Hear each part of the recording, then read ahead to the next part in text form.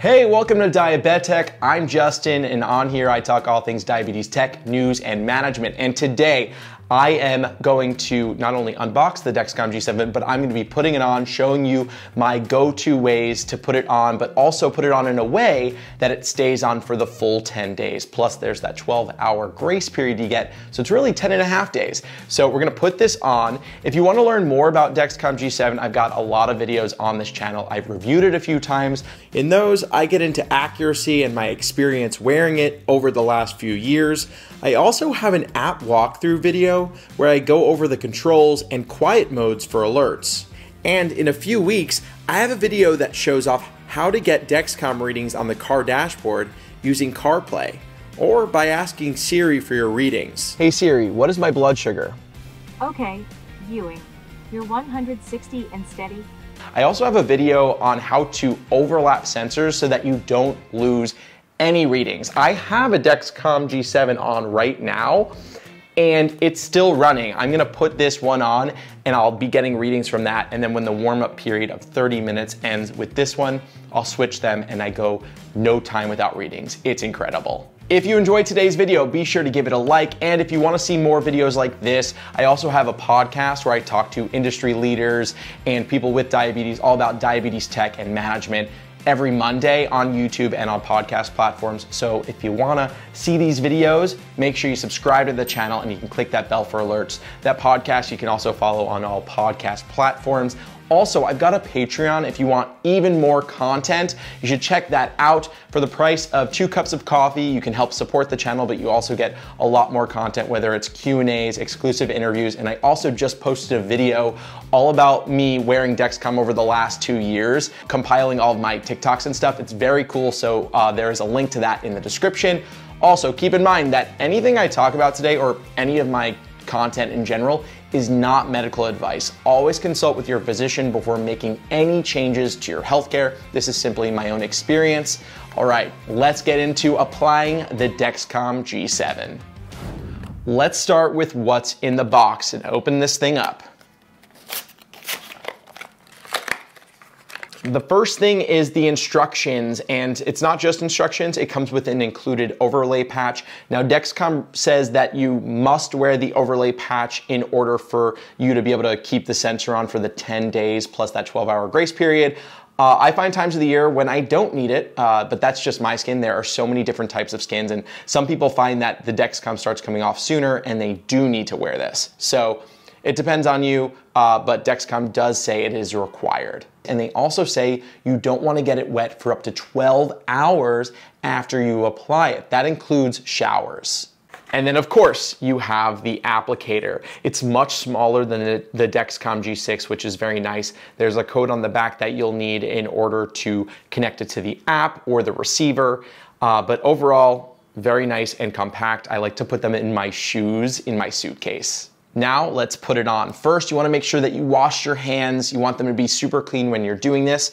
Next, you'll want an alcohol swab and you'll want to swab the area of your arm where you're gonna put it. I'm gonna put mine like right over here.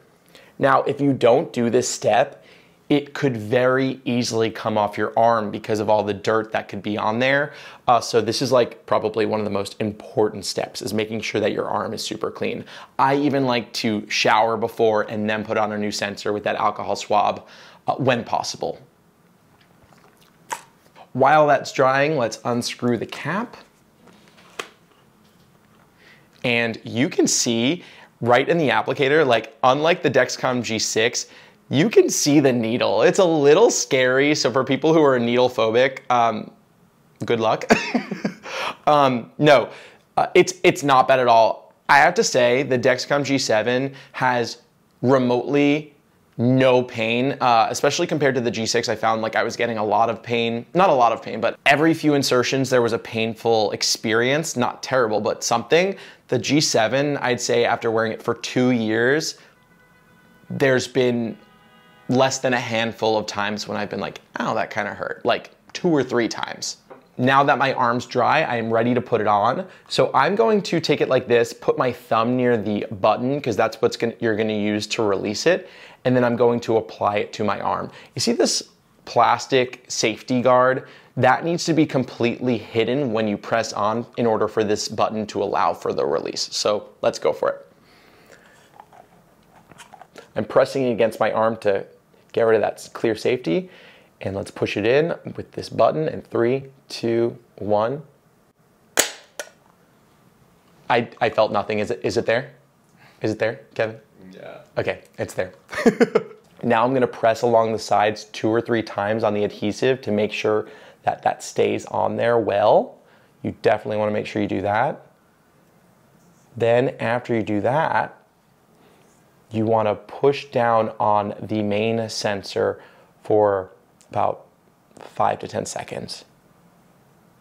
Make sure that the adhesive sticks to that area. Okay, cool. There's a needle in that? And you're like, No, there's the needle was in here. oh, okay. Now the needle, Kevin, now the needle is hidden in here. And what you want to do now that this is done is you want to screw this back on just for safety. And then, I mean, there's the Dexcom G7. Look at that. Now that the new sensor is on, I'm going to wait 30 minutes for that to warm up while I'm still getting readings for my old one.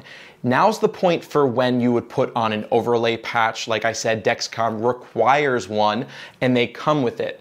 Um, I don't really use it all the time. In fact, I never use it. But there are times of the year, like the summer, when it gets more humid, um, and if I'm going to work out more often, where the overlay patch really comes in handy. So I definitely would recommend people using it, especially if you have issues with adhesive staying on.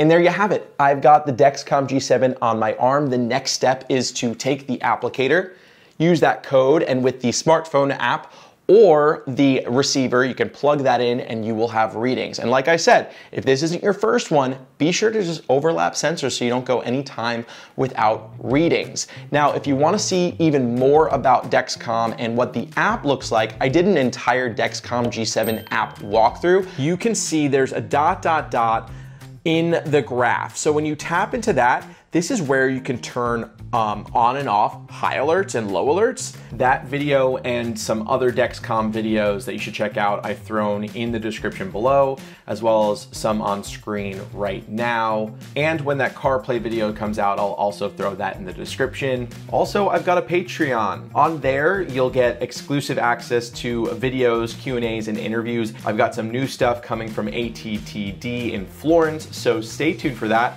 I appreciate your support over there. Be sure to subscribe to this channel if you want more videos like this. Click that bell if you want to get alerts when the videos come out and give this video a like if you enjoyed it. I'm Justin, and I'll take you later.